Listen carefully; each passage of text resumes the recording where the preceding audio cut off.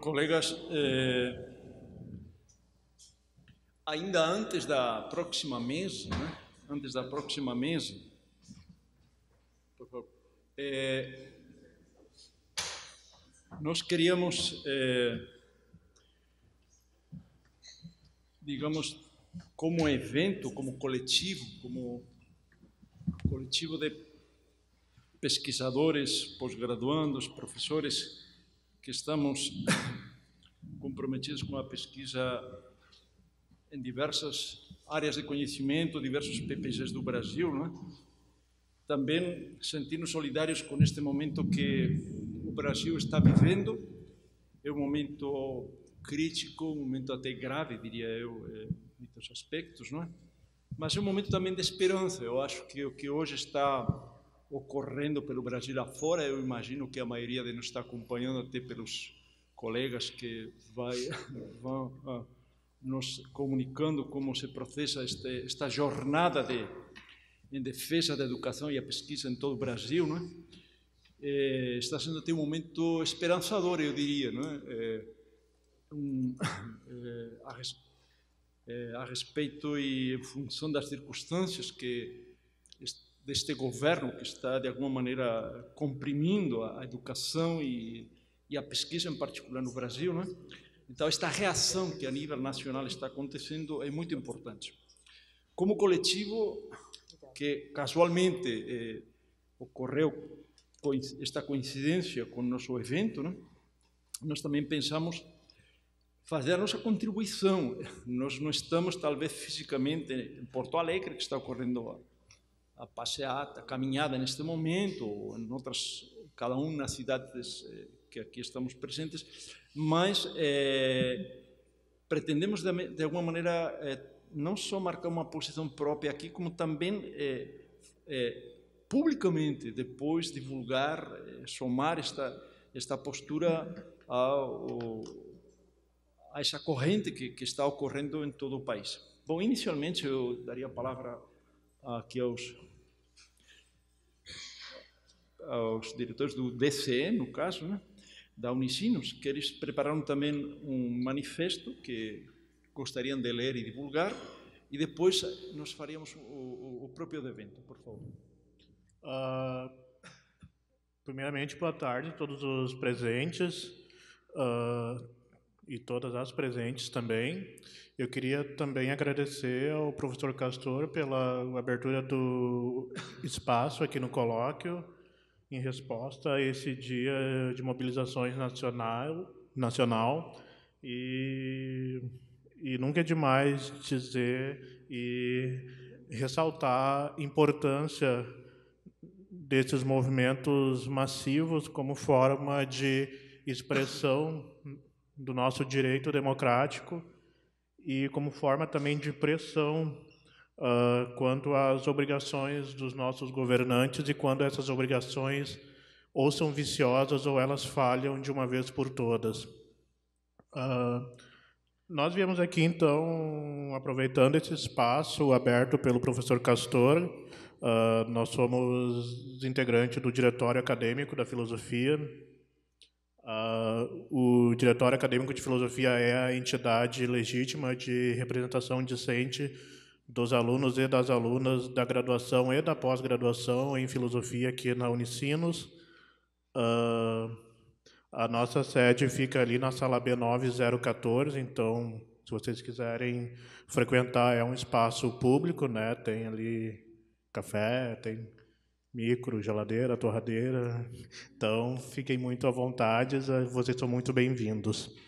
Uh, a, a gente preparou, na verdade, um texto bastante curto para marcar nossa posição publicamente, uh, respondendo a esse dia de hoje, em solidariedade aos manifestantes e em apoio integral aos manifestantes e em rejeição aos cortes sistemáticos que estão sendo anunciados uh, tanto, no, tanto nas instituições federais, né, que está sendo bastante bastante problemático, né? Estão até com os, as pessoas que administram as instituições federais estão com medo da de, de que as atividades sejam uh, encerradas em, em, razão desses cortes, mas também nós aqui de uma universidade privada também nos afeta os, os cortes nas agências de fomento né, das nossas bolsas.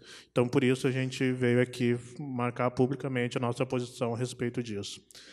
Então, eu passo a palavra para Letícia para iniciar, então, a leitura. Letícia. Ditadura nunca mais. O direito à dignidade da pessoa humana é o princípio basilar assegurado pela Constituição Federal de 1988, que fundamenta o Estado democrático de direito. Tal princípio expresso em cláusula pétrea, manifesta total oposição a qualquer prática que busque incentivar cercamentos democráticos, sejam estes na forma de repressão violenta, por meio de braços armados do Estado, por políticas públicas ou desmonte destas, ou por discursos de oficiais do governo brasileiro. Na última eleição presidencial, o voto popular elevou um nome que expressa a negação do princípio da dignidade da pessoa humana à presidência da República. Embora esta exitosa campanha tenha se construído cercada de suspeitas de crimes eleitorais e financeiros que levaram uma avalanche de desinformação e falsidades, reconhecemos, embora não concordemos, com a legitimidade do TSE em não levar adiante a investigação sobre as notórias denúncias. Jair Bolsonaro, capitão do Exército, aposentado após alegações de insubordinação, é um político de carreira, deputado federal por quase 30 anos, representando o estado do Rio de Janeiro. Tornou-se nacionalmente conhecido com suas declarações preconceituosas, truculentas e frequente apologia à violência e ao estupro, pela qual respondeu criminalmente perante o STF. Em suas quase três décadas de serviço público, aprovou apenas dois projetos de lei, Sendo assim, ele foi um dos deputados mais ineficientes do país. Sua campanha presidencial ficou marcada por dois elementos. O primeiro, sua recusa em comparecer aos debates presidenciais em virtude da ausência de propostas concretas. O segundo, uma tática marcada pela boataria generalizada, usando preconceitos e medos comuns para caluniar e difamar seus principais adversários. Tendo isso em vista, a surpresa sobre seu governo é inexistente, marcado por trapalhadas administrativas, subserviência na política internacional, entrega das riquezas em matérias-primas ao capital estrangeiro. Por outro lado, o governo Bolsonaro é eficiente, entretanto, na sua agenda de discurso antidemocrático e desgosto pelas normativas institucionais. Ao lutar o alto escalão com militares, o presidente mostra saudosismo pelos tempos do regime de exceção que assombrou a população do Brasil, com 21 anos de autoritarismo e terror. Suas declarações em favor da ditadura militar são frequentes, sempre apoiadas em factoides que não encontram sustentação na realidade concreta. O ponto alto dessa postura foi a ordem dada ao Ministério da Defesa para que preparasse comemorações à infame data de 31 de março de 1964, quando o presidente João Goulart foi deposto por um golpe de Estado promovido pelas Forças Armadas do Brasil. Este ato foi uma afronta direta à Constituição, classificado pelo Ministério Público Federal e pela Defensoria Pública da União como crime de responsabilidade, apenas demonstrando que Jair Bolsonaro não é um presidente que pensa no bem e na pacificação da nação, mostra-se uma pessoa que incorpora o ódio, o reacionarismo, o ressentimento motivado pela desinformação e pela impotência.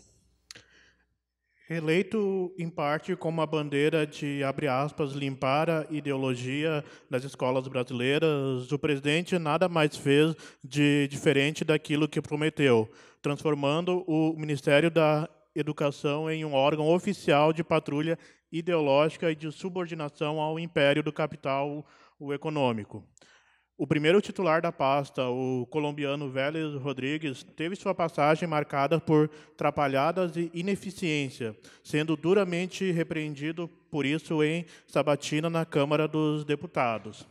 Seu sucessor, o economista Abraham Weitraub, mostrou-se mais efetivo na agenda repressiva de patrulha ideológica e no, pro, e no projeto de cortes econômicos às pautas educacionais, penalizou universidades federais do Espírito Santo, da Bahia e, e de Brasília sobre as justificativas de que perpetraram abre aspas, balbúrdia, um tipo de julgamento moral rasteiro e sem fundamentos, dado que as três universidades em questão então, estão entre as mais produtivas no país quantitativamente e qualitativamente.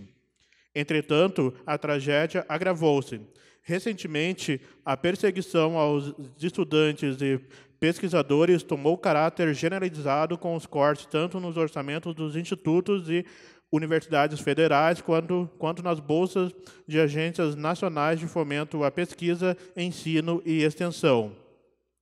Nossa posição é pela manutenção e fortalecimento do Estado democrático de direito, o que inclui garantias civis fundamentais e a obrigação do governo de financiar e incentivar o desenvolvimento científico, tecnológico, humano e civilizatório em, em, promoção de políticas públicas inclusivas que tomem por pressuposto que todas as cidadãs e todos os cidadãos são iguais e merecem o acesso aos recursos educacionais. O Diretório Acadêmico de Filosofia, legítima entidade de representação discente do Departamento de Filosofia da Unicinos, não está de acordo com qualquer medida que cerceia a livre expressão crítica do, do pensamento ou da investigação científica e manifesta-se contrariamente aos cortes infundados promovidos pelo Ministério da Educação, cuja forma e meio vilipendiam o ensino, a pesquisa e a extensão. Muito obrigado.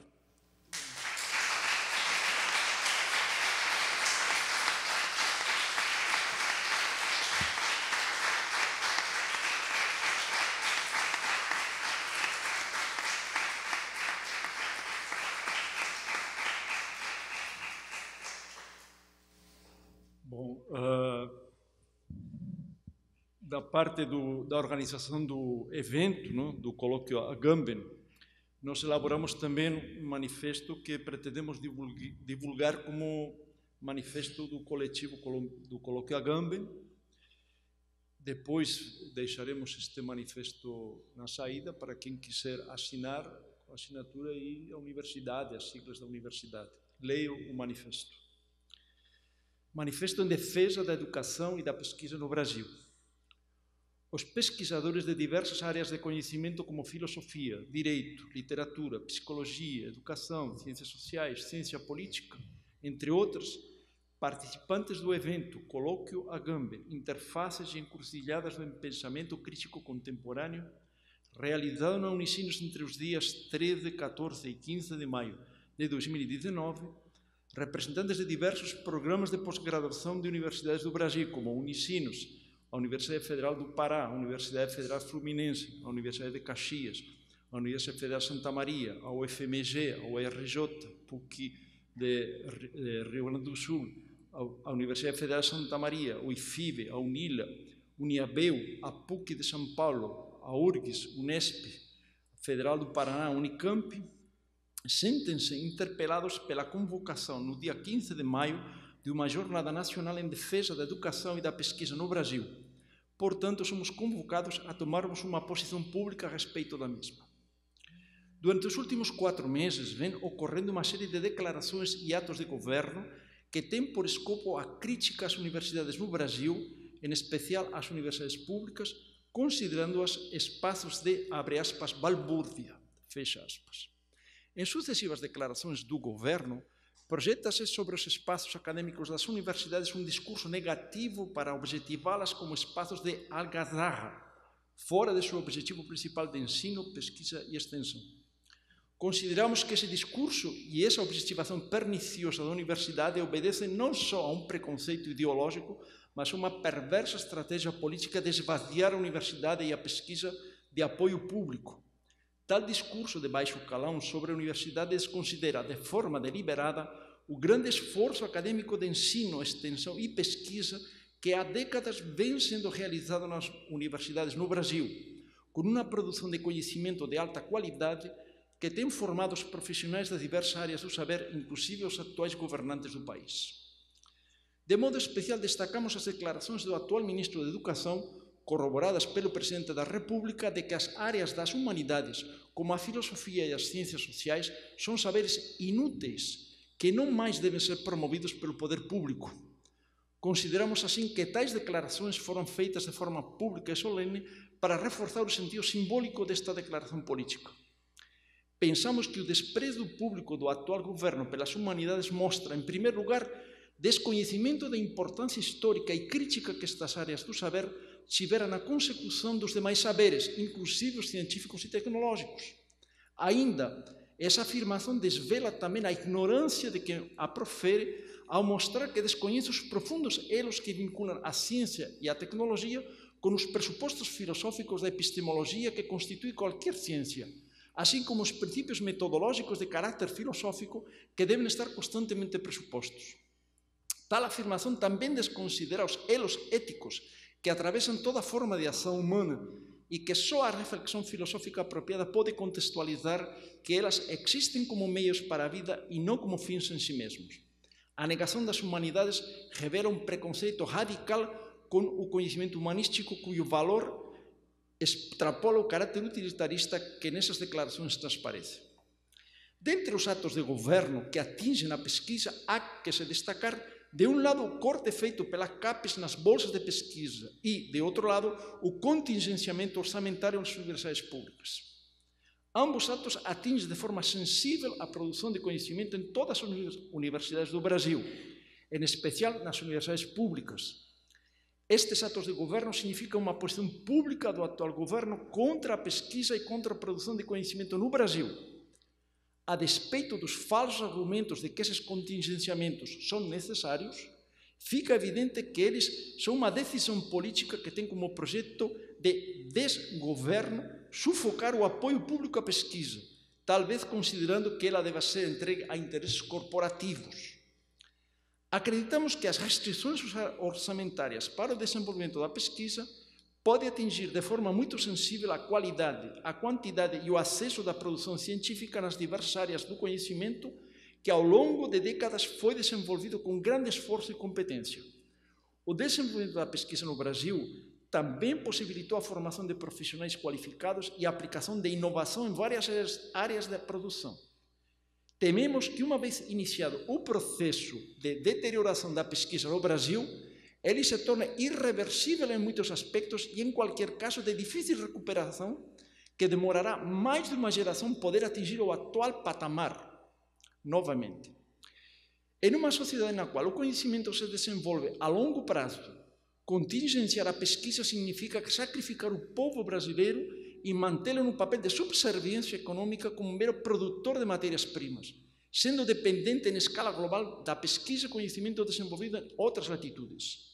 Ao contingenciar a pesquisa, o Brasil perderá mais uma vez o trem da história que se anuncia como uma sociedade do conhecimento onde a qualidade de vida e a produção de riqueza está associada à capacidade da produção de conhecimento e inovação. Se nestas duas potencialidades o povo brasileiro continuará a ser dependente do conhecimento produzido a Lures, atingindo todas as áreas. Interpelados por estas circunstâncias e alarmados pelas consequências nefastas que estas posições políticas e atos de governo podem ter e já estão tendo, devemos tomar uma posição pública em apoio às universidades brasileiras, exigindo deste governo que reveja as atitudes, as atuais decisões políticas, que revise seu projeto preconceituoso sobre a universidade de modo a considerá-la, junto da produção de conhecimento, uma prioridade de governo. Dessa forma, nos unimos às manifestações que percorrem todo o Brasil neste 15 de março, firmando nossa posição de apoio e resistência contra as políticas atrozes de esvaziamento do saber e de desmantelamento do futuro de, de gerações.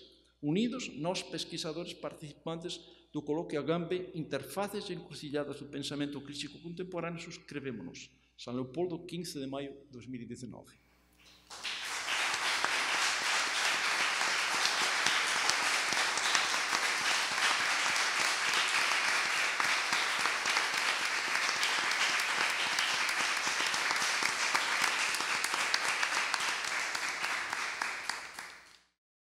Bom,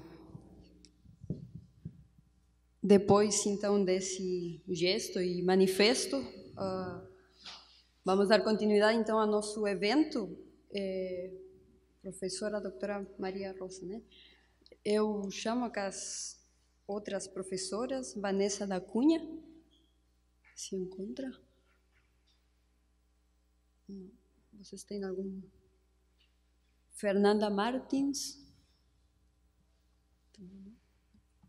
Bom. Então, uh, acredito que a presença de duas mulheres na, na mesa também é uma resistência e uma outra manifestação de uma outra luta.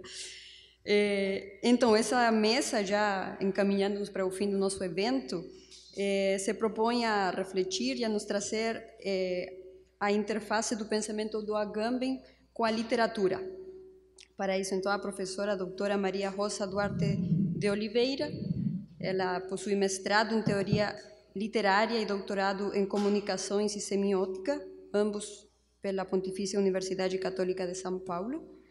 Atualmente professora titular da mesma universidade, uh, onde ministra a disciplina Teoria Literária no curso de pós-graduação em Literatura e Crítica Literária.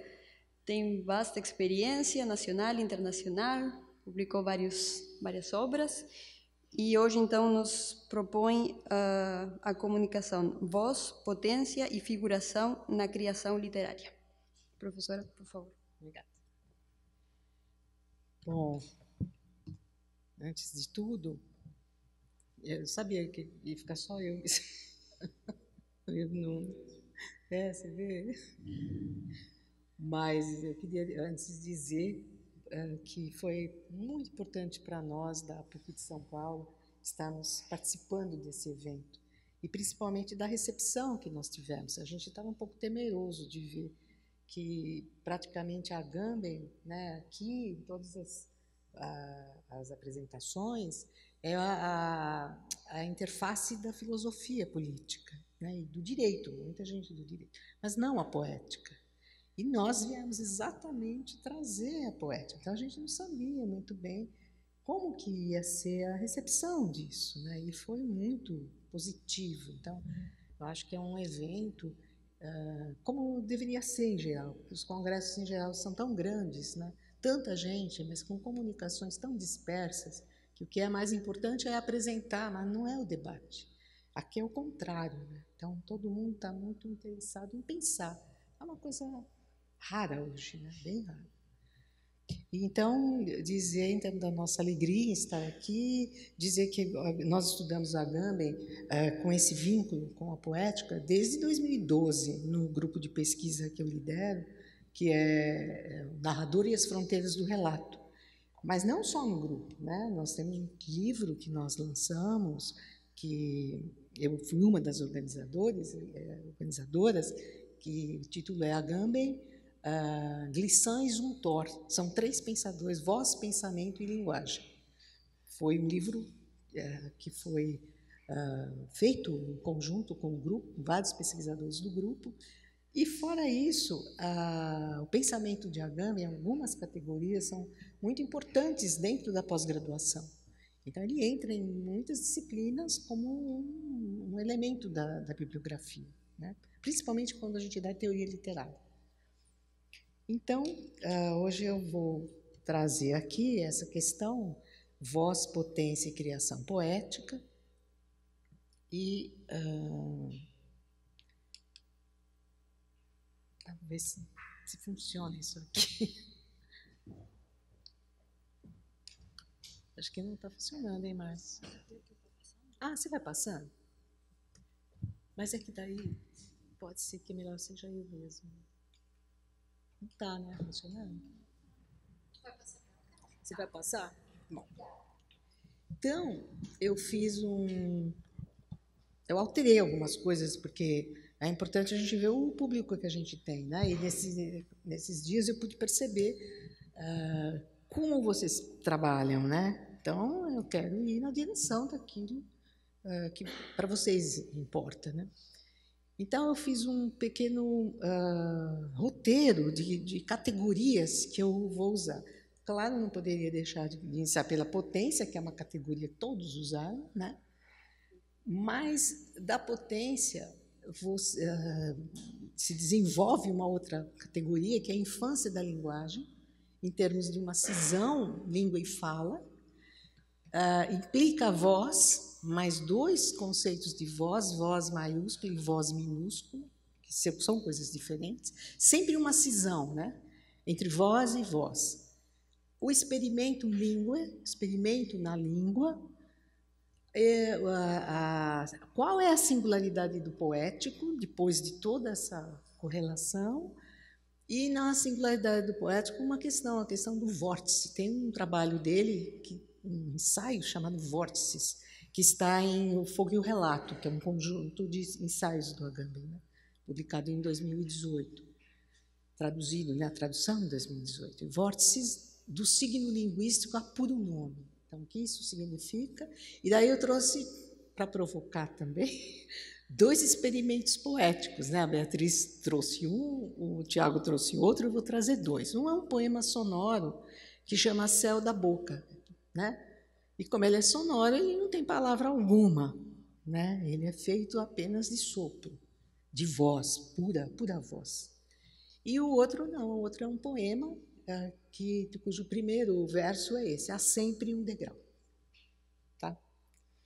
Bom, uh, Primeiro, a questão da potência. Né? Você pode colocar potência, então, ela tem que ser entendida, como vocês já colocaram muito né, nessa direção, uh, não apenas como a tendência inevitável para o ato, mas também para o não ato. Né? Ou ainda toda potência ao mesmo tempo impotência. Né? As duas coisas estão juntas.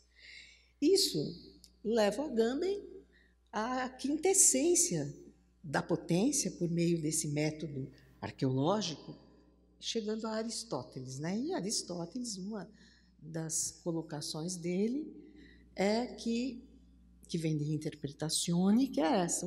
Uma vez que o que é potente não é sempre em ato, também a negação lhe pertence, de fato. O que é capaz de caminhar pode também não caminhar, e o que pode ver pode não ver.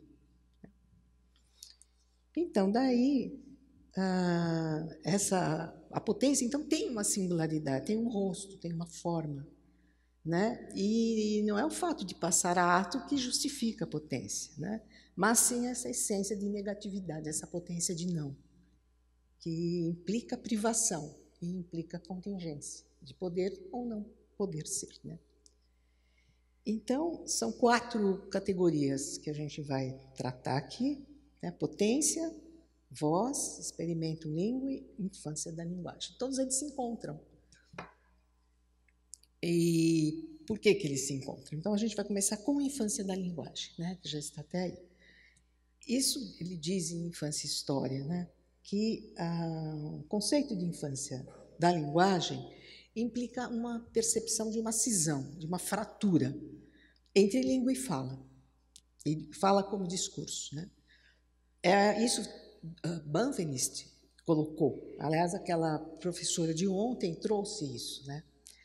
E é uma ruptura que implica a percepção de que o homem não nasce falante, como ocorre com os animais. Né?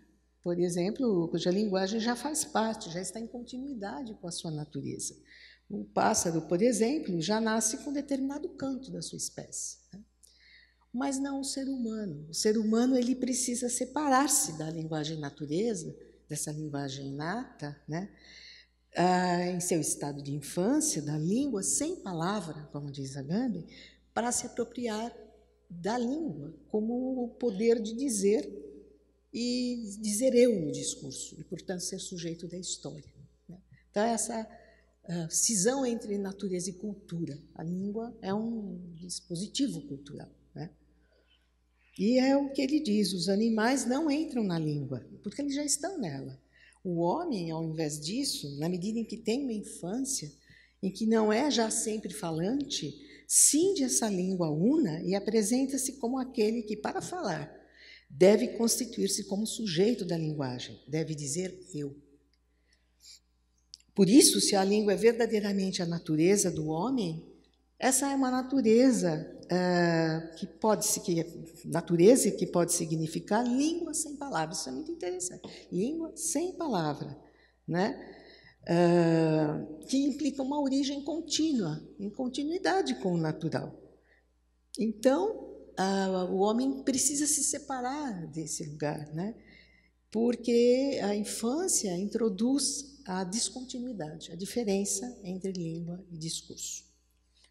E aí ele continua, e aí eu acho isso demais nesse outro trecho, quando ele diz que, né, que ele é muito contundente, que é somente porque ah, somente porque existe uma infância do homem, somente porque a linguagem não se identifica como humano e há uma diferença entre língua e discurso, entre semiótico e semântico, que são duas categorias do, do Banveniste, somente por isso existe história, somente por isso o homem é um ser histórico, pois a pura língua em si é anistórica, isso que eu lembrei muito do Nietzsche, né? falando para Márcia porque ela é considerada absolutamente natureza e não tem nenhuma necessidade da história. E aí eu gosto muito dessa imagem que faz. Vamos imaginar um homem que nascesse já falante, né? já provido de linguagem. Um homem que ah, fosse já sempre falante. Para tal homem, sem infância, a linguagem não seria algo preexistente, da qual seria preciso se apropriar e não haveria para ele nem fratura entre língua e fala, nem devido histórico da língua. Né? Mas um tal homem seria, por isso mesmo, imediatamente unido à sua natureza. Seria já sempre a natureza, e nela não encontraria, em parte alguma, uma descontinuidade e uma diferença, nas quais algo como uma história poderia produzir-se. Isso é muito forte, né? mostrando que então a natureza do homem já o faz ser cindido. E é interessante, porque o conceito de potência implica já numa, numa certa cisão entre aquilo que pode ser um ato e o que dentro dele pode não ser. Né? Então, hum, você, a partir daí, então, a voz. A voz é um outro problema, né? porque a voz, olha como ele eh, define indefinindo a voz. Olha o que ele diz. Ah, meu Deus, é uma coisa complicada, porque ele diz: a voz, né, que escreveremos de agora em diante com maiúscula, para distingui-la da voz minúscula, como mero som, tem o estatuto de um não mais voz, porque ela não é apenas é, a elocução sonora, mas ela também não é significado. Então, olha só, como que eu vou definir voz como não mais voz e não ainda significado? Esse é o lugar da voz. Quer dizer, parece que a gente está falando da. Gente ontem é, viu que era comunidade, né? Hoje, como você também falou, né, Márcia? Que lugar? O que, que é esse? Que lugar é esse? Esse lugar que não é um não mais, mas também um não ainda. Esse é o lugar da voz. E como que você então pode uh, se apropriar dessa voz? Nunca. Mas você pode uh, se apropriar de partes dessa voz. Né? A escrita. Estava até assistindo um vídeo em que o Agamben diz isso. Esse vídeo dele, que a gente pode pegar na internet, é uma, toda uma conferência sobre voz. E ele fala isso, que a forma de você ver a voz é vê-la na escrita. Né? Então, como fica essa transformação do ouvido para o olho e a mão? Então, na escrita é que você pode se aproximar do que se, poderia ser a voz, esse lugar tão, ah, tão, poten, tão potencial, no sentido de ser um lugar de potência e de privação, né? porque ela não é palavra, mas ela tende a ser palavra, mas a, nenhuma palavra consegue traduzir completamente esse lugar. E aí, estava vendo, tem um outro livro dele, que é um livro que eu não estudei em profundidade, mas que eu acho que precisaria ser feito, é a linguagem da morte. Eu acho que até, acho que foi o William que falou sobre a voz, não foi? Na linguagem da morte. E lá, eu também estava hoje folhando, e vi que ele diz o seguinte: falei, nossa, olha só, que a voz está em A Linguagem é a Morte. A voz é, de fato, na sua essência, puro querer dizer. O querer dizer que está em questão na voz não deve, porém, ser interpretado no sentido psicológico. Não é algo como um impulso, nem indica a volição de um sujeito que vise um objeto determinado. A voz, nós o sabemos, não diz nada. Não quer dizer nenhuma proposição significante. Ela indica e quer dizer o puro ter lugar da linguagem. É, pois, uma dimensão puramente lógica. Então, é, o que, que a gente pode uh, pensar a partir daí, né? E como depois isso vai reverberar num, num, na poesia, por exemplo, né? num enunciado poético. Uh, que então o que a gente tem é esse a voz, né, como um não lugar do puramente dizível, sem semântica, sem palavra, que a voz vai instaurar, vai se instaurar num movimento reverberativo entre potência e ato.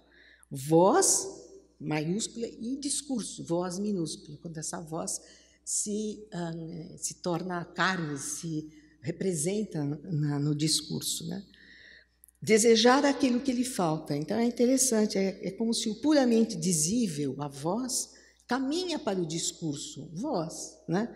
Mas como nenhum discurso consegue traduzir completamente a voz, então isto mantém o desejo do discurso retornar. Ele nunca vai conseguir uh, representar toda a potência da voz, né? E então se retorna puramente dizível a infância da linguagem. Então, cada vez que nós falamos, embora a gente seja inconsciente disso, nós entramos na infância da linguagem. Né? Ela renasce a cada vez porque você tem que escolher as palavras. Então, e, e nesse sentido, a infância da linguagem não significa cronologia. Quando você era criança, você falava de um jeito, hoje você é adulto, não. Porque essa infância está presente a cada vez que você entra na língua. Né? Então, isso é uma coisa muito séria. Né? E aí a grande questão que eu vou trazer é, tá bom, mas como que, por que, que a poesia quer esse lugar? É esquisito, né? Por que, que o poema, por que, que a, o discurso poético deseja esse lugar? Embora ele não possa permanecer nesse lugar, porque ele tem que traduzir isso em discurso. Mas que discurso é esse? Que é e não é discurso? Que diz, mas também não diz. De forma a querer sempre fazer que essa esse, essa busca desse lugar lógico da voz seja um elemento visível, dominante, né? Coisa que o falante na língua, pelo próprio automatismo da, da língua, você não percebe mais que a cada vez que você escolhe dizer de um jeito e não de outro, você passou pela infância da linguagem, né? Você passou por esse lugar da voz e escolheu determinada forma de representar. Mas, se isso acontece, a gente sente que o que nós estamos falando não consegue representar tudo o que nós pensamos, imagine um escritor. Né? Esse, esse é o grande problema, e a gente vê muito isso. Eu, a gente ontem pensava que a, a Clarice Lispector é um exemplo assim, muito forte. Quando ela diz isso, Drummond diz: Você trouxe a chave? Onde, onde está a chave? Né? Mas a Clarice diz muito. Por exemplo, Água Viva. Ela fala: Eu estou escrevendo, mas não é o que eu desejava escrever. Né? Isso me falta, como a Bia trouxe ao falar do Érico. Né? Então, quer dizer, que parece que este lugar lógico para o poético é um lugar dominante. Mas para o discurso cotidiano a gente não percebe. Exatamente acho que pelo automatismo, porque a gente Percebe que você, entra nesse lugar lógico da infância. A cada vez que você constrói um enunciado. Né? Ah, então,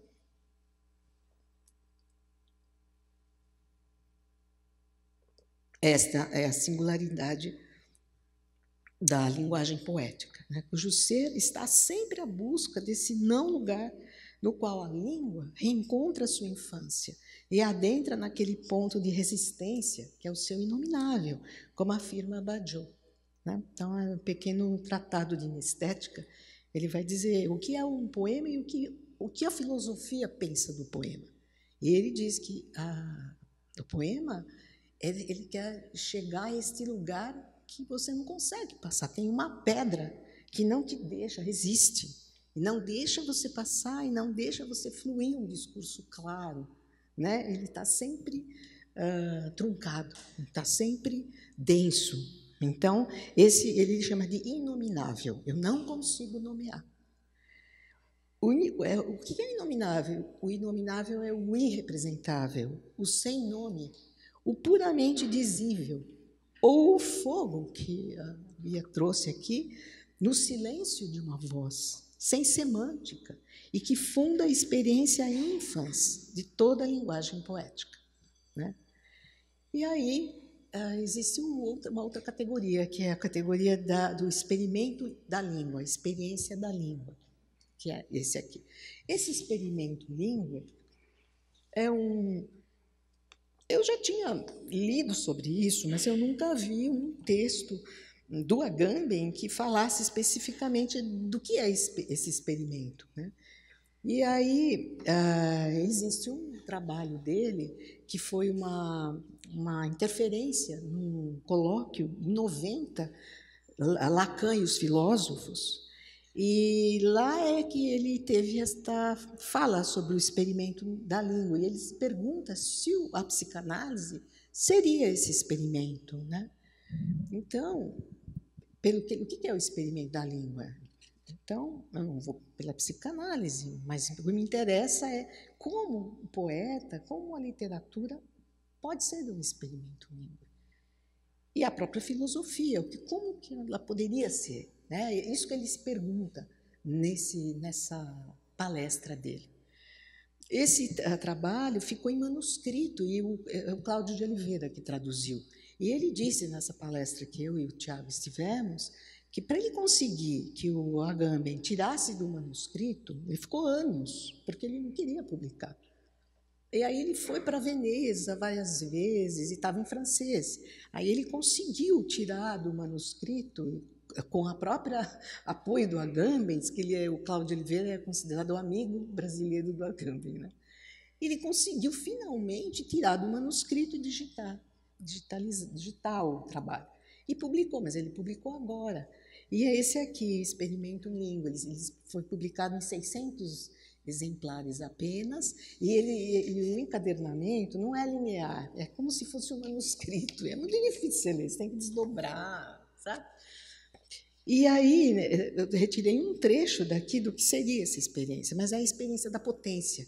Como que você, na linguagem, pode exercer esse lugar? Então, ele diz, ah, o que é a, experi a experimento língua, a experiência da língua? Isto quer dizer fazer a experiência de uma faculdade ou de uma potência, arriscar-se em um experimento potência, da potência enquanto tal. Não é unicamente experiência de um ato de dizer, de proferir tal e tal proposição significante, nem simplesmente experiência de uma potência de dizer, mas também e, antes de tudo, experiência de uma potência de não dizer. Eu gosto demais desse.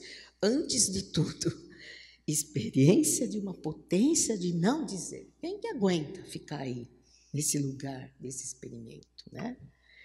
Esse lugar precisa de muita coragem, como ele vai dizer, mas que, que quem enfrenta esse lugar é o lugar de, da extrema liberdade. Também eu gosto muito de saber disso que é. é verdade, né? Pensa bem. Ah, uma coisa é você poder dizer, mas você uh, experimentar o lugar da potência de não dizer, né? E, e, isso ser a fonte do seu conhecimento é um desafio, né? E uh, eu acho que o escritor, né? Então eu pus. Então, uh, Nesse ponto, a gente se defronta com um paradoxo, né? pois a linguagem poética, ao mesmo tempo, ela quer se instaurar como um pudo dizer, esse lugar lógico da voz, tal, mas ela usa do discurso, ele está no discurso. Então, é, você tem que deseja uma voz inaugural, sem amarras com a semântica de um discurso prévio, mas só pode fazê-lo no discurso, não, mesmo que desativando as regras estabelecidas pelo código linguístico. Esse movimento ambivalente entre estar fora e dentro da língua, fora e dentro da história, ao mesmo tempo, coloca a linguagem num espaço de né, na concepção benjaminiana, borrando os limites de fronteiras. Né? Então, imaginemos nesse contexto o escritor, no meio desta fratura entre o puramente dizível, o rumor de uma voz potencial, daquilo que poderão ou não ser fala e discurso, e o enunciado produzido efetivamente em ato, no discurso poético. É uma luta, mas é uma luta com e contra as palavras, né? Para desentranhar delas uma linguagem muda. O Agamben chama de uma língua estrangeira, que a poesia é uma língua estrangeira, né? E deixa de ser,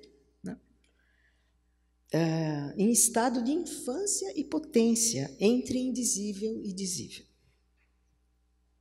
Essa é uma operação feita na língua ou ainda o experimento língua, segundo Agamben que implica promover para primeiro plano a inoperância, como fruto de dispositivos de desativação comunicativa, investindo no que o Despinhatari, é um poeta, ensaísta, escritor, uh, chamava de contracomunicação. Então, é um paradoxo, né? Você está no discurso, mas você não quer comunicar. Você cria dispositivos contracomunicativos. Você desativa as regras gramaticais, a sintaxe, né? Então você dificulta o acesso. Mas justamente essa dificuldade é que faz que, que esse estado de tensão se mantenha, né? entre dizível e indizível. Você está sempre num lugar fraturado. Então, vocês vão ver nos experimentos que eu vou dar uma interpretação, mas quem disse que é única? Não, porque você não tem essa fixidez, né? Então, exercer esse poder, acho que acho que ele, é isso do Agamben que eu estava dizendo, né? Ficar nesse lugar, né? De, se, de ficar no lugar da fratura, que é quando ele fala do contemporâneo, que o contemporâneo é muito difícil viver o presente, porque é ficar no lugar da fratura entre o que você vê e o escuro. Mas então são poucos os que aguentam, né? Então ele diz que ah, autenticamente livre nesse sentido seria não quem pode simplesmente cumprir este ou aquele ato, mas aquele que, mantendo-se em relação com a privação, pode sua impotência. Isso é demais. E, e, agora, pensando isso na política, como vocês pensaram, aí a coisa complica, né? porque aí a gente falava, nossa, mas como que se vai manter esse, essa comunidade que não existe, que é essa comunidade, né? essa, essa forma de vida? Né? Como? Então, eu, na, na, poesia até a gente sabe um, uma possível resposta. E hoje, quando a Márcia falou que a poesia é o lugar onde você tem a política, nossa, a gente adorou. Porque eu falei, nossa, então... E o Agamben diz isso, né? quando ele diz que, ah, também é uma palestra que ele fez em Portugal, no Porto, ah, que, que eh, chama-se Arte, Inoperatividade e Política tem muita coisa de outras obras dele, mas é uma síntese muito boa. E tem um momento que ele diz o seguinte: uh, como nós devemos entender uma operação inoperativa? Ele dá o um exemplo no, na poesia. Ele fala assim: o que é, aliás, um poema? Senão aquela operação linguística que consiste em tornar a língua inoperativa, em desativar as suas funções comunicativas informativas para abrir a um novo possível uso. Ou seja, a poesia é, nos termos de Spinoza, uma contemplação da língua que a traz de volta para o seu poder de dizer, quer dizer, para a sua infância. E mais à frente ele vai dizer: a arte é em si própria constitutivamente política, por ser uma operação que torna inoperativo e que contempla os sentidos e os gestos habituais dos homens e que, desta forma, os abre a um novo possível uso. Por isso, a arte Aproxima-se da política e da filosofia, até quase se confundir com elas. E aí eu sempre me lembro né, que o Agami dizia que o grande interlocutor do filósofo não é outro filósofo, mas é um poeta. Falei, nossa, e, nós que estudamos a poesia também, como a filosofia é importante, né? não para que a gente é, aplique, porque não é esse o sentido, mas como há uma, um limite tênue, né? são diferentes, mas eles criam uma, um atrito, né, no sentido de uma tensão, uma provocação interessante. Né? Uh, e aí, uh, e mais? Eu já me perdi, não sei agora o que eu tinha que falar. Ah, agora o vórtice. Então, qual que é a singularidade da linguagem poética? Né? Então, eu disse que existe esse trabalho dele, que é um texto chamado Vórtice, e que ele descreve de um lugar, de um modo tão perfeito, o trabalho de um escritor, né, que diz o seguinte: o nome é, na realidade, um vórtice que perfura e interrompe o fluxo semântico da linguagem. E não simplesmente para aboli-lo. Isso também é muito legal, não é destruir. Né? Vocês, vocês vão ver nesse poema que é, usa a palavra degrau. Começa com degrau, degrau do dicionário. Não é destruir, esse sentido continua lá, mas ele é, uh, revirado pelo avesso, ele vai para outro lugar, né? Então não é para abolir, porque senão também você não teria potência. Potência não é que nem o sim nem o não, mas é exatamente você permanecer nesse lugar de fratura, né? nesse lugar de passagem. Né? Então, uh, no vórtice da nominação, o signo linguístico, volteando e afundando em si mesmo, intensifica-se, exaspera-se ao extremo, para depois se, se deixar sugar no ponto de pressão infinita, no qual desaparece como signo, para reaparecer do outro lado como puro nome. E o poeta? Mas olha o que ele diz do poeta, eu achei também demais. O poeta, o poeta é aquele que emerge nesse vórtice, em que tudo para ele se torna de novo nome. Ele precisa retomar uma por uma as palavras significantes do fluxo do discurso jogá-las no turbilhão para reencontrá-las como nomes. Mas nomes que não nomeiam, não são nomes, outra vez, que simbolizem, que não simbolizam nada, que são puros nomes. Então, essa é esse é o desafio. Como você é como uma máquina de produção, né? Que você entra com nomes, nomes que simbolizam coisas já habituais, mas você vai desativar isso. O poema vai fazer uma desativação e eles jogam esses nomes num turbilhão e eles reaparecem durante o poema é, como puros nomes, onde eles podem significar tantas coisas e nada daquilo que a gente poderia imaginar. E agora, então, eu trouxe dois experimentos poéticos para a gente ver como é que você poderia ver esses dois momentos como vórtices. Né? O primeiro é, trata-se de um poema sonoro, chama Céu da Boca. Eu, o poeta é o Filadelfo Menezes, morreu muito jovem, é, foi poeta, tradutor, ensaísta, pesquisador, produtor de poesia sonora em intersignos e foi docente do programa de pós-graduação de comunicação e semiótica da PUC de São Paulo, na década de 90. Então, a gente vai ouvir agora o poema. Aí dá para você, você tocar, para você Olha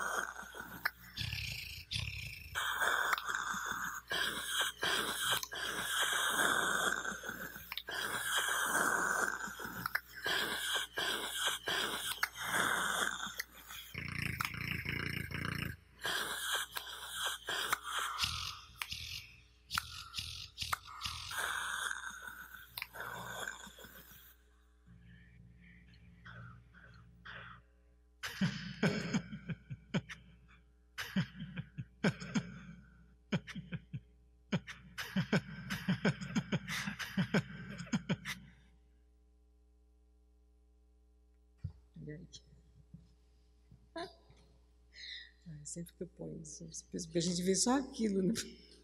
um microfoninho, não vê nada, você não vê nem o poeta, não vê palavra.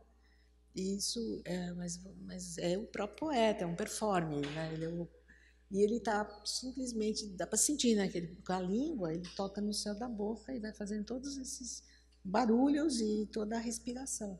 Então, uma possibilidade de traduzir essa cena vocal para o discurso, né, eu vou fazer uma possível interpretação, mas ela não diz tudo. Então, eu acho que aí é, você tem a, a gente materializa a cavidade bucal, a garganta de carne, da língua no atrito com o céu da boca e o som produzido. Você está exatamente fazendo aquilo que a gente falou, essa voz, né, que não é não mais e não ainda, né? E, e, e, isso trabalha com o órgão interno da garganta, o corpo interior, que diz que é o chamar, chamada úvula, né? que é o lugar onde o som se propaga. Então, a voz é o corpo íntimo de um ser, não há duas vozes iguais. Né? E uh, a respiração, que faz vibrar as cordas vocais, e o sopro, o sopro inarticulado, como o princípio. Né? Então a gente poderia talvez é, interpretar essa cena como uma cena da criação, a cena da criação da linguagem, né? no seu vórtice de voz. Né? Sempre retomada cada vez que nós entramos na língua, princípio do que é potência de não, privação de semântica, de língua articulada, daquilo que é puramente dizível, a infância da linguagem, o lugar da voz sem discurso, embora no decorrer do tempo ela tenderá a ser voz na palavra articulada, conforme diria o Adame e conforme eu estou tentando fazer nesse discurso final, né? tentando apreender alguma coisa possível. Né? E aí, um outro agora, um poema mais que a gente entende, talvez como poema, mas é que também não é tão simples, porque ele se parece muito com prosa, né? que chama uh, Poema 47, não tem título, que é o degrau. Né? Então diz, há sempre um degrau. Essa Ana Stareg é uma poeta, nossa aluna do programa, num livro belíssimo que chama Coração de Boi. Esse é um dos poemas, de número 47. Há sempre um degrau entre o que se escreve e o que se gostaria de ter escrito. E quando há um poema inexaurível, desses que nunca mais se pode parar de ler, que não se pode mais soltar, porque no meio dele há um vórtice, um poço d'água potável, onde se pode nadar muito em círculos, sem pressa, onde se pode apanhar com as mãos os peixes intermináveis. Não há como não ponderar sobre qual seria o verdadeiro poema, aquele outro, ainda maior, mais robusto, que alguém tentou escrever. Esse, é, várias coisas eu selecionei. Primeiro, porque ele materializa o vórtice, né? aquilo que o Agamben fala. Você pega um signo linguístico, no caso é degrau, retira e lança no, no vórtice da linguagem, e ele vai se transformando. Então, ele, mas não é para abolir, destruir. Então, não se pensa mais no degrau signo linguístico, né? porque agora é outra coisa. Não, ele permanece lá. Isso que é legal, essa fratura. Né? Você vê um signo linguístico, você sabe o que é, mas, no entanto, não está falando de um degrau referencialmente, mas está fazendo o degrau. Como está fazendo? Porque ele mantém a bola, abole o sentido do signo degrau para que a fratura se torne presença no enunciado poético. No campo de significação do poema, degrau é feito mesmo, fisicamente, nos vãos, entre as linhas versos. Reaparece como puro nome, então, que em vez de nomear, faz o degrau. Quando você passa, né, tem sempre uma respiração e você passa de um para o outro, mas não é uma passagem contínua, né? Há uma não coincidência, um degrau, um intervalo, uma fratura entre o que se escreve e o que se gostaria de escrever. O resto é um resto indizível que ficou por dizer.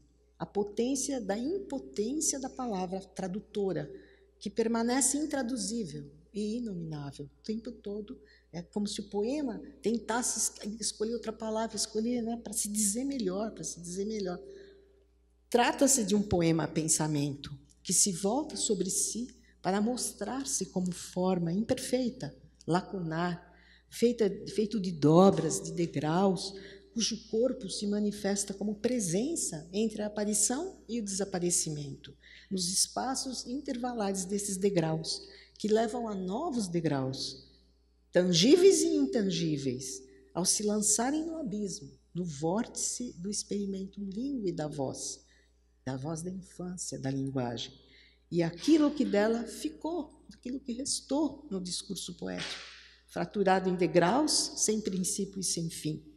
Por isso, a grande pergunta do fim: qual seria o verdadeiro poema? Aquele outro, ainda bem maior, mais robusta, que alguém tentou escrever. Inclusive, isso, o poeta é só um alguém, é um qualquer.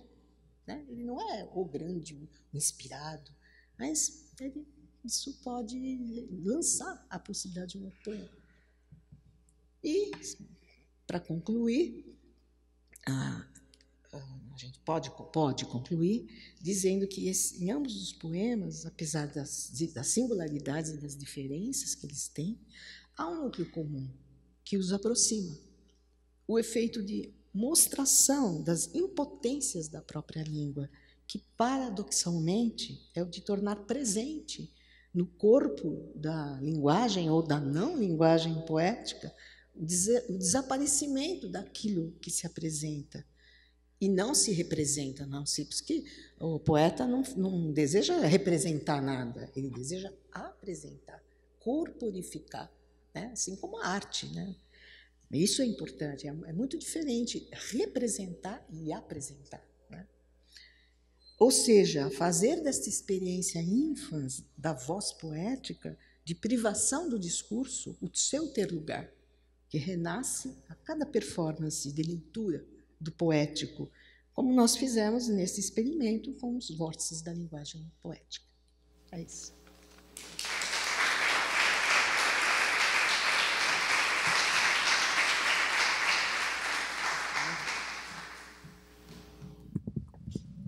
Muito obrigada, professora, uh, pela excelente comunicação, pelas é, diversas conexões que o pensamento da Campe abre também na, na literatura. Dá a impressão que o filósofo está muito perto sempre do poeta, né, do escritor. É então, a, a, abrimos para sugestões, perguntas, comentários. Márcia, por favor. Professora, primeiramente, muito obrigada né, pela sua exposição. Acho que é uma felicidade muito grande nós termos recebido a vinda de vocês aqui do grupo da, o qual a senhora coordena e representa aqui nesse momento, é uma, de uma riqueza para nós aqui podermos fazer essas intersecções com o pensamento de Agamben das perspectivas que vocês trazem. Então, assim, é, é muito bom mesmo poder escutar vocês. Eu, eu, não sei nem se é uma pergunta o que eu tenho para a senhora, mas é uma pensação, é uma, uma, uma, uma provocação, uma provocação é, para a gente conversar. Então, professor, eu estava pensando, enquanto a senhora estava falando, nesse lugar lógico né, da, uh, da linguagem, da língua, é, no que, que ele representa para a gente como é, um, um, um, desafio, naquilo que a gente consegue dizer, até onde a gente consegue dizer, o que a gente pode dizer. Né? Então, eu estava me lembrando uma vez ali no Instituto Humanitas Unicinos, a gente tem esse instituto aqui dentro da universidade, a gente fez uma revista temática sobre Platão. E ali a gente entrevistou um especialista, um platonista muito renomado, chamado Thomas Slezak. Ele rep representa a escola de Tübingen, Milão. E lá eles estudam as doutrinas não escritas de Platão. Eles têm toda uma, um, uma discussão sobre o, digamos assim, o núcleo duro do platonismo foi aquilo que não foi escrito. Não é que eu me lembro quando a gente conversou com esse pesquisador, ele disse assim, não é que os diálogos de Platão estão desmerecidos com isso, né? Mas digamos assim que é, que a hipótese central dessa escola é que justamente o âmago da doutrina dele era tão profundo e tão uh, uh, de, de, difícil uh, expressão que ele não foi escrito, é uma doutrina não escrita, né? É, então, assim, na verdade, isso não é uma pergunta que eu faço para a senhora, mas assim, Como que a gente entende, né, professora, essa, essa incapacidade do dizer? Mesmo um, um filósofo do porte da tradição de Platão, que nos, é, ao qual no, nós nos referenciamos até hoje, né, já entendia a limitação daquilo que pode ser dito. Então, eu, eu me lembrei dessa, dessa intervenção que a gente teve com o professor Slezak, e quando a senhora estava falando dessa, desse não lugar, essa espécie de, de limbo que algumas coisas ficam, que, que não são ditas. Não são ditas, é. é. Mas legal, e você vê que este poema fala isso, né? Isso. O grande poema não é o que está escrito, é o que eu não escrevi. E parece que as coisas, a não obra, né? O Gagame vai dar muito lugar, que a, a, a, melhor obra é que ainda você não escreveu. Aqui. Agora, incrível é ver isso em Platão, né? Você ter esses escritos que não foram uh, publicados, não foram escritos. E esse é o lugar do âmago da doutrina. Quer dizer, você tem um outro Platão. Exato. Né? Aquele que não, não como não é importante, né? Aquilo que ficou uh, invisível, é lá que pode estar a grande obra. E, mas também se ela fosse revelada, aí teria uma outra que não foi. Quer dizer, sempre essa busca pelo não, né? Ela é muito mais instigante do que aquilo que fez. E a gente pensa muito no escritor como Raduan Assar, pensa que ele escreveu e depois ele ficou mudo. Não quis mais escrever, foi morar na, na fazenda. Se fala, ele vem mal, gosta de entrevista, não gosta de entrevista, ele sumiu. Parece Rambo, né? Coisa que não é estranho. Ele escreveu, escreveu, escreveu e depois se calou. Nunca mais escreveu. E parece que ele percebeu isso, né? Que aquilo não interessa mais. A Clarice dizia isso, que ela nem lia o que ela escrevia, porque não interessa mais, porque agora o que interessa é a outra obra não escrita. É sempre a maior, aquela que virá ou não, é a, a obra conjectural, né? A obra possível, que pode ou não vir, a contingência, uma obra contingente. Quer dizer, essa é a grande obra, mas quando você acha que chegou, vai haver uma outra que, que, que poderia ser. Dizer, isso é incrível, né? não tem fim.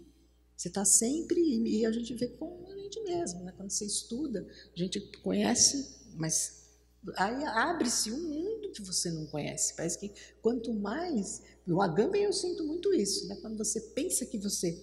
Agora, essa categoria eu entendi, e, não, você lê outra fala, nossa, mas agora abriu outra coisa, e abriu outra.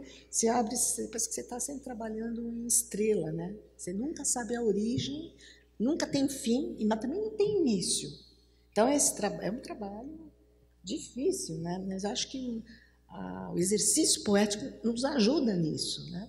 Porque ele não tem não adianta você falar também, ah, esse autor foi influenciado por não sei quem e depois quer buscar a fonte, né? Por que, que ele escreveu isso? Não adianta nada, porque ele desfez disto, né? Existe, claro, existem restos de influências, de leituras, mas são restos. Ali estão rearticulados, então você não tem prova que ali é porque ele leu não sei quem, não, sei, não é? Eu lembro muito do Machado. Eu fiz trabalhos meus falando sobre o Machado de Assis. E aí você tem aquela ânsia de saber o que, que ele lia, né? Então tem a biblioteca, mas eu também entrei nessa. Aí eu fui lá na biblioteca e falei, ah, agora eu vou ver. Ele deve ter alguma anotação nas leituras. Tinha nada. Os livros limpos. Tinha uma anotação. Puxa, filha, não adianta, porque a gente tem essa ânsia, né, de saber se ele leu aquilo, porque memórias póstumas, tem de tudo. Então é possível. Ele leu filósofos, ele leu tratados, ele leu a Bíblia, ele leu, mas cadê isso? Algumas coisas sumiram, mas outras estavam lá. Então eu achei que eu queria muito ver a letra dele, porque eu acho que letra é uma coisa muito forte, né? Você tem a presença do autor, né? Eu queria falar, olha, ele leu isso. E não adiantou nada. Era limpo.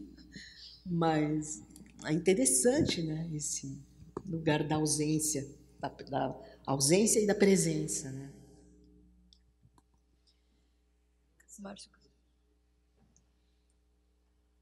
É, olá, boa tarde. Meu nome é Pedro. É, nossa, eu gostei muito, muito, muito mesmo da sua fala. Fiquei ela inteira me arrependendo de ter escolhido fazer direito, né? É, pensando por que, que eu não estou fazendo letras. Mas, enfim, é, como iam ter. iam ter três pessoas na mesa, só tem uma, então eu vou tomar a liberdade de fazer três perguntas para você. ok? É, e bom, achei até engraçado que você falou do Rambo agora há pouco, porque do começo até o final da sua fala, o Rambo ficou na minha cabeça, assim, de certa forma. Eu não lembro para quem que foi essa carta em específico, mas ele mandou várias cartas para várias pessoas, né? Mas a carta que ele fala aquela frase famosa do eu é um outro, né? Desse, enfim, desse lugar ambíguo do poeta e tudo mais. Ele também fala de um sonho dele, né? De uma, de uma utopia que ele imagina de uma sociedade em que todos seriam poetas, né? É, enfim, eu queria te perguntar, primeiramente, se você achava que essa, essa sociedade em que todos seriam poetas, ela seria essa comunidade que vem do Agamben, né? É, bom, essa é a primeira pergunta. Acabei de me tocar que, na verdade, são quatro perguntas, mas, enfim. É, a segunda coisa que eu queria te perguntar é que é, me parece, né, nesses discursos sobre poesia, até do Agamben mesmo, né? Que ele fala que a poesia habita o não lugar entre a voz e a voz, né? E eu fico pensando toda hora se ele acha que toda poesia habita, é o que ele tinha falado ontem, né? Se toda poesia habita, todo poema, ele habita um lugar entre a voz e a voz, ou se existem poetas que habitam esse lugar e existem poetas que não, assim porque é, existem poetas que eles claramente têm é, a ambição de desenvolver uma poética que vá nesse sentido, que nem o Agamben fala até do Fernando Pessoa na obra dele, você tem o Malaimé, você tem o próprio Rambo, você tem, enfim, é, todas as pessoas que claramente vão nessa linha, mas você também tem poetas que nunca apontam nesse sentido e nunca parecem estar preocupados com, com, com, com, com esse não lugar. Assim. A outra coisa que eu queria falar também é, onde é que a música ficaria, né? A música não, a música só canção, mas é, eu não sei, eu não é, veio muito na minha cabeça durante a sua exposição um compositor americano que ele chama Steve Reich. Ele é contemporâneo, é de uma vibe do minimalismo, tudo mais. É, enfim, trabalha com repetição e, e, desdobramento de um tema. É, onde é que a música ficaria nesse lugar entre voz e voz, né? Entre entre um, uma locução pura e um significado, né?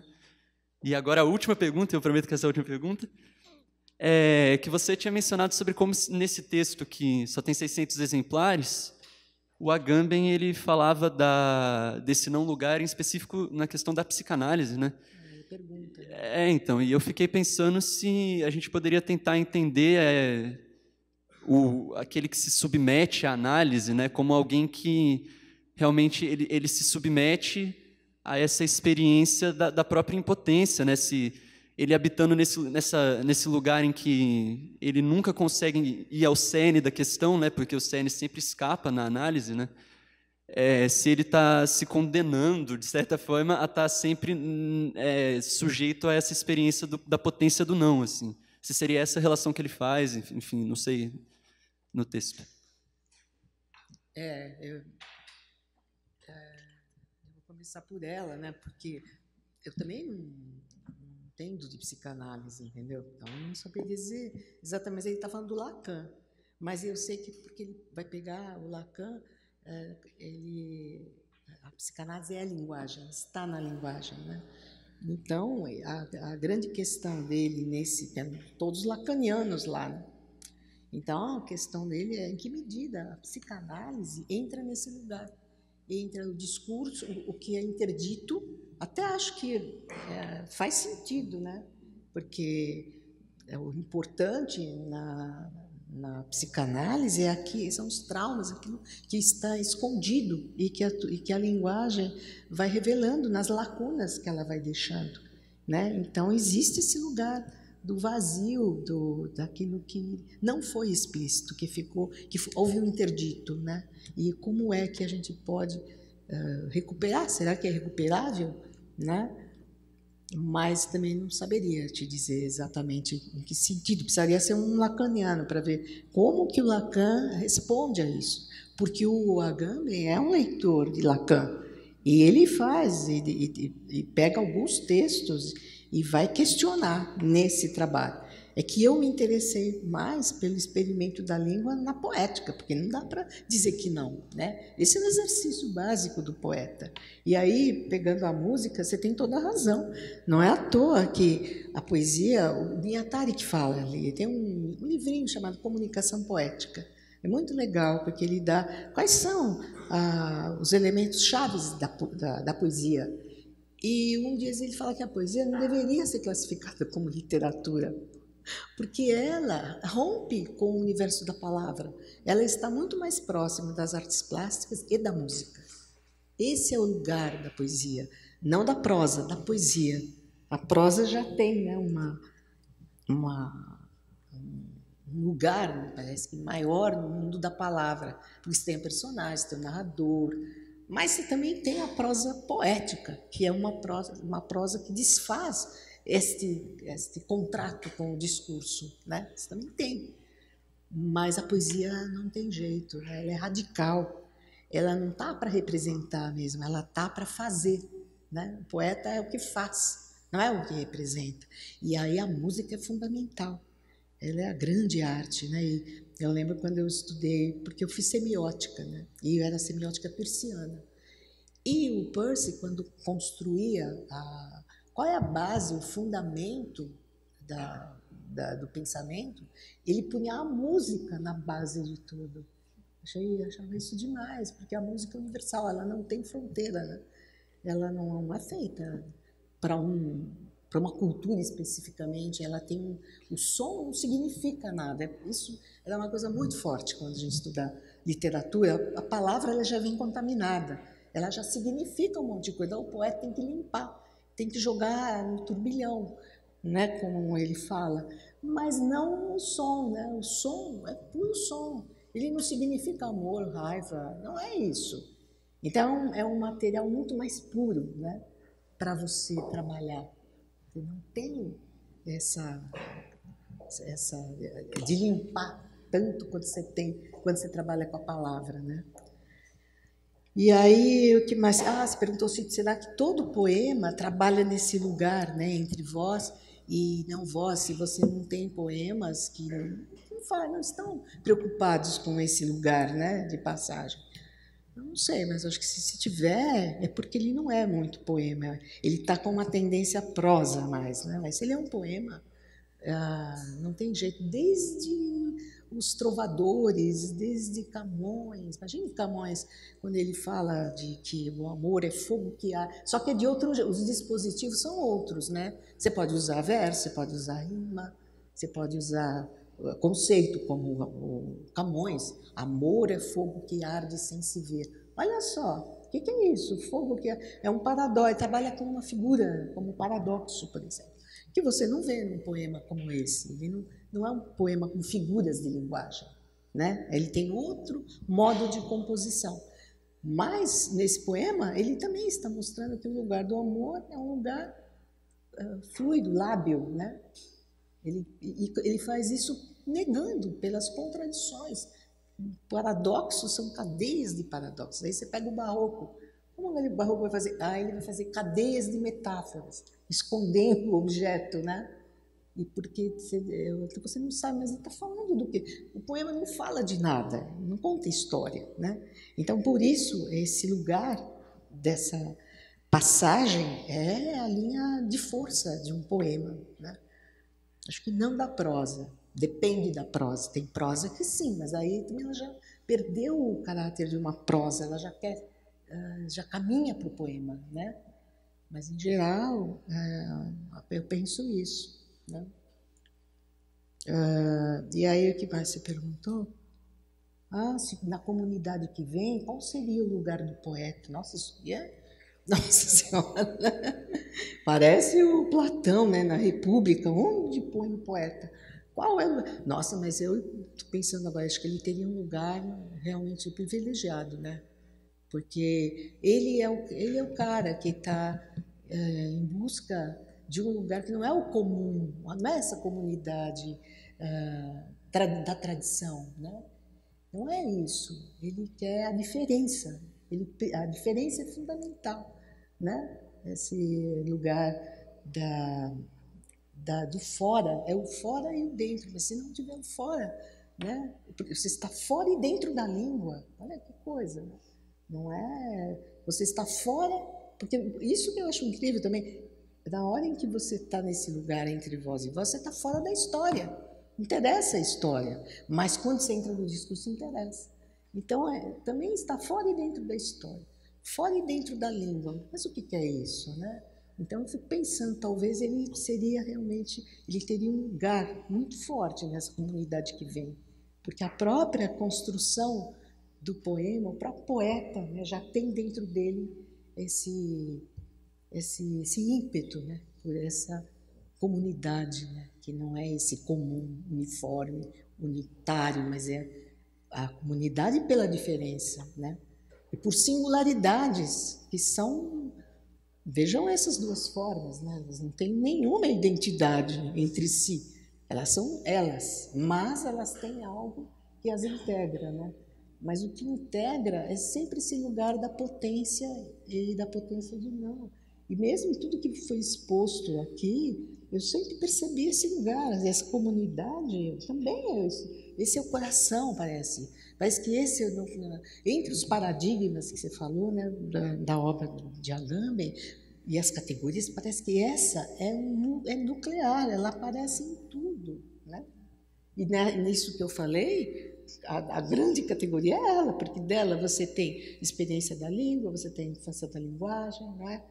Então ela se dissemina. É uma coisa impressionante isso. Né? Então a gente, você estava pensando, a gente precisava agora, porque nós não temos essa leitura de vocês sobre a comunidade, sobre a, a, a filosofia né, política. Então esses, é interessante, esses textos de Agamben, a gente leu alguma coisa, mas nós não temos a leitura que vocês têm.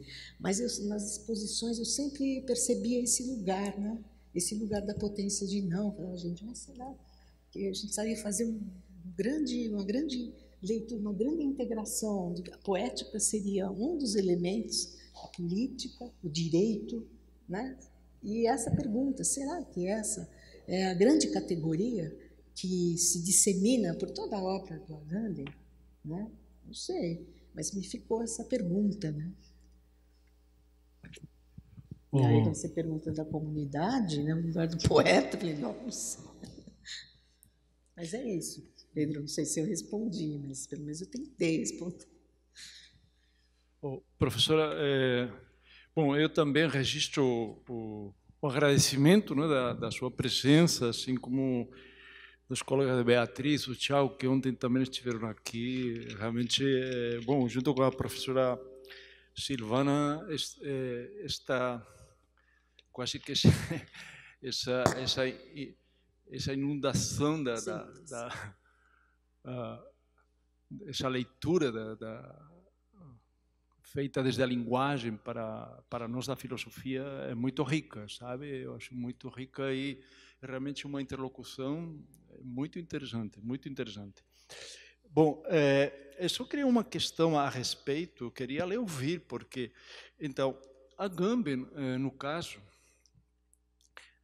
a voz e a linguagem, eh, na Gambia a linguagem representa bem como você mencionou, essa passagem em, em, que o humano se torna humano, o humano se torna humano pela linguagem. É, então, nessa passagem da voz para a linguagem. O interessante é que é, nessa, nessa, nessa, nessa passagem da voz para a linguagem, é que o humano, digamos assim, transcende, não é? É a animalidade para o humano. Esse é o ponto que eu gostaria de ouvir a respeito, não é? Por quê? Exatamente porque é, na, na, linguagem é, acontece o que acontece exatamente essa essa essa transcendência, não sei se ou essa superação, essa assimilação é, da pura voz na criação da linguagem e do sentido da linguagem o poeta é o reflexo mais amplo disso. Agora bem, é, a questão que, que me surge aí, nesse ponto, é, veja, o Agamben, é, ele tem como proposta filosófica é, que o humano o humano fundamentalmente ele não é uma negação da animalidade, mas uma Sim. integração eh, do animal que somos no humano que nos tornamos na forma de vida, ou seja, cada forma de vida é, ela, ela envolve a, a, animalidade que nos acompanha com a vida que e aí, claro, a linguagem é, é, é, nos constitui humano. Agora, a questão é o poeta, no caso, o poeta é aquele que parece que transcende a pura animalidade, que transcende a pura. Para exatamente entrar um outro universo do sentido onde pareceria que é mais humano, é verdadeiramente humano, é onde todos nos sensibilizamos ao ler o poema aquele, não é? Porque parece que, que teríamos, eh, eh, digamos, evoluído, entre aspas, eh, da pura voz para a, a compreensão dos o poeta seria uma, uma. Como é que na Agamben se poderia compatibilizar a exaltação do poeta, como aquele que é o sujeito e o mestre da linguagem, com essa intencionalidade que o Agamben tem em pensar o humano com, como alguém que é a animalidade constitutiva do humano. Então, como é que isso estaria presente? É, eu já lhe digo também que, é, que é, uma, uma, uma parte dessa questão que eu lhe faço, que eu gostaria de ouvir, porque eu acho importante, quase que uma parte veio-me, é, a resposta em parte veio por aquele poema do som, a pura voz, que você nos mostrou. Ah. Quer dizer, o que, que isso representa? Claro, eu nunca, nunca teria pensado que isso poderia ser um poema, não? Agora, olhando assim, claro, é um poema, como que a pura voz, o poema, o puro, o puro, o puro, uh, uh, que na verdade a pura animalidade do que é claro, é a, é essa a língua quer dizer, é o puro ato físico, biológico transformado em poema, não? Então, é esse diálogo que me parece é, é, queria lhe ouvir porque eh, eh, nesta, digamos, nesta linha da, da, da, poética e da linguagem, nessa questão antropológica na Gâmbia, eu acho que tem aí um, um elemento muito rico a ser considerado.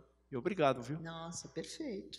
Você sabe que eu pensei nisso, falei, ah, mas eu não vou falar, isso é muito complicado. Mas você tem toda a razão, né? tem tudo a ver, né? Porque esse lugar da voz e esse poema em especial não tem jeito, ele é, é visível, né? Porque são elementos físicos, animais mesmo, de uma, de uma não palavra.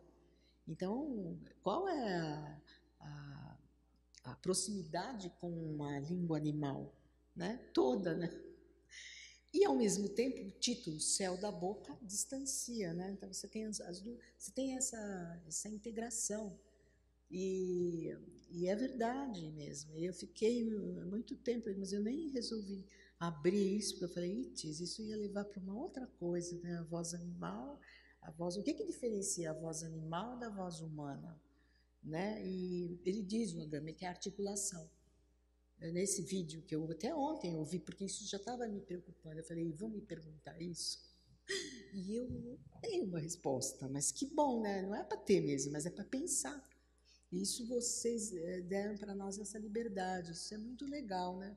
Que a gente sentiu muito que vocês estão preocupados com a resposta. Se está certo ou se está errado. Vocês estão preocupados com esse desafio de questões, como essa que você faz agora e que eu me fiz. Mas eu não tinha, eu não tinha uma resposta, e eu fiquei temerosa de entrar e depois não poder responder. Mas já que você perguntou, eu, então, esse vídeo dele, no final, ele vai tocar nesse assunto. Falei, nossa, e ele diz algo que pode ser uma boa, uma boa abertura. Ele diz que a diferença é a articulação, porque a voz humana ela é articulável, então ela já pressupõe a, a possibilidade de fala. A voz animal não, ela não é articulável, né? Mas é, nesse poema, ele faz mesmo a não articulação, porque não dá para falar que é isso que ele faz é, é, palavra, não é. ele parte mesmo né, da voz animal, de uma articulação física do lado animal, da voz humana, e depois a possibilidade de isso se transformar em discurso. E esse poema sonoro mostra ambas as coisas, né? E que é esse lugar mesmo, né? dessa passagem, dessa integração, dessa não separação.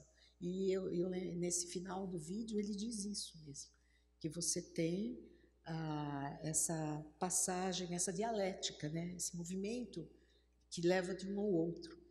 E esse lugar da voz, que é, como ele diz, ah, não mais voz fala, mas um não ainda significado, gente, né? ele tem toda a possibilidade de o vincular a, uma, a esse lado de uma língua não articulada, próxima ao animal. E aí eu estava também me lembrando do o, Blanchot, ele tem uma leitura do canto 12 da Odisseia, no livro Por Vir, onde ele vai dizer que as sereias, elas são é, metade animais e metade homens, né? E que na passagem do canto das sereias, estranhamente, ah, o canto, o, o Ulisses não consegue traduzir o canto, ele não escreve o canto. Aí eu lembro que eu falei, não, tem o canto. E eu fui lá, e os alunos procurando, cadê o canto? O canto uh, não está, uh, ele não foi escrito. As, as sereias avisam, olha, você vai passar, venha para cá, mas uh, ouça, ouça o nosso canto. Mas esse canto não está nem ao menos escrito ali que era um canto entre o animal e o humano, né? Era um canto intraduzível, né? Que é o que Blanchot vai falar. Esse canto não foi. E daí o Kafka vem e tem uma réplica a isso, que é o silêncio das sereias. Aí é demais, porque aí então isso fica claro. As sereias não cantaram, Ulisses que imaginou. E ele diz que o silêncio, quer dizer, que você pode ligar essa potência de não, né?